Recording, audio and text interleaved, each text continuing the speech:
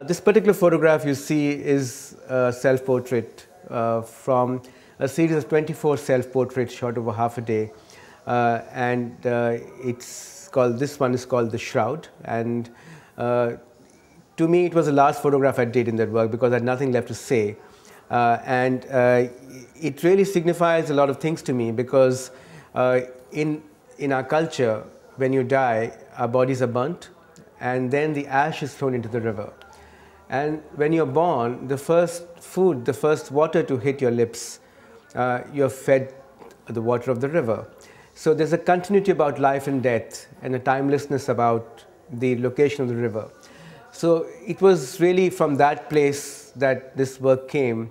And uh, it's to me both about a loss and a hope, but I don't know uh, what the future will be. And that's largely the question I think about a city like Delhi that we don't know what the future will be, and it's uh, it's um, ambivalent uh, about it, uh, about where we're going.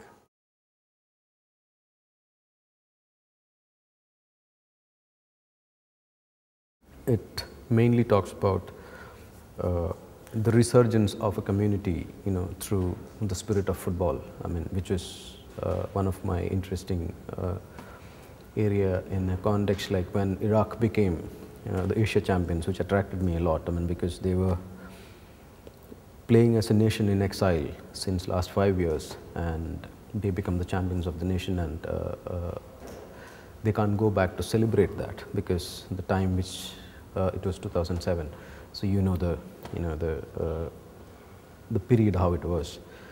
So I actually wanted to bring in a kind of positive story about that nation, you know, which nobody speaks about. I mean, so how uh, the country united, you know, the differences which they have uh, as different clans in Iraq, so to speak, because that was also one reason. I mean, the country was consistently, you know, under turmoil. You know, there is different, huge divide between different clans in, like, I mean, Shia, Sunni, and know, other Kurdish and you know like all those kind of issues. So, but in the team, it never shows, especially outside. You know, that's also another story. Is like when once you get out of your own territories, you feel a sense of belonging. You know, so it's something which reflects even in the football stadiums outside Iraq because everybody comes together. They're all different clans, but they all cheer for the nation. You know, for the you know. The, so it was one venue which I found where Iraqis celebrate life at the time of war.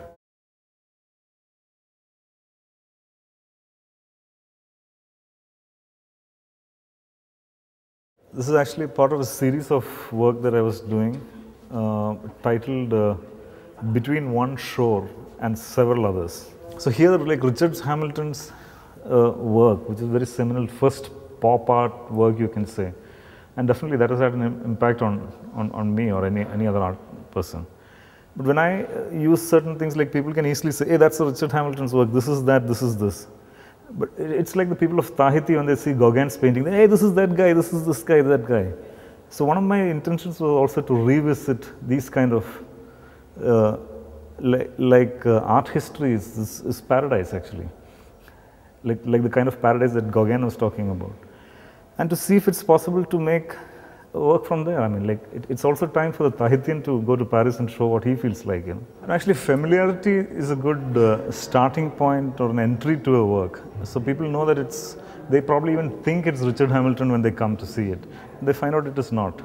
So then, what is it? Uh, uh, so that's where like. And, and I also know that like some of the elements, unless people know it, they may not understand the finer uh, elements of this thing. But that is not necessary. I mean, that can happen later if people think that it is worth this thing. It is, sometimes it is not, you know, there's so much artwork in the world. But when, when one creates, like one has to, it has to be interesting to me in the first place. So it has to be most cryptic and uh, this thing for me, uh, where I sit and I, I know these, these things that, uh, that can possibly resonate out of, out of, out of a kind of juxtaposition like this.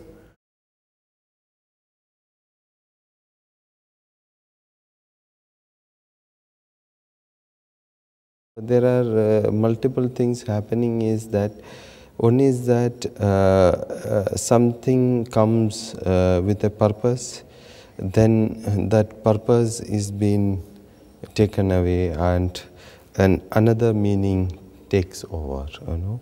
So uh, the materials, objects, been once it's been reused, the entire history, the entire past is changed, and it it, it gets a new meaning to to everyday life. Okay, that is one part. The other thing is I tried to make um, some kind of objects uh, which has a shape of human, animal, you know, coexisting things, uh, and it also uh, has a limitation or kind of uh, you know containers which is you know chopped or so uh, this is the way that how humanity uh, uh been the how the human situations how humans are limited how humans are trapped in certain situations and how the situation uh, take shapes, you know. That uh, that is a very important part. You are uh, you are you are part of a situation, and how the situation mold you, you know, shapes you.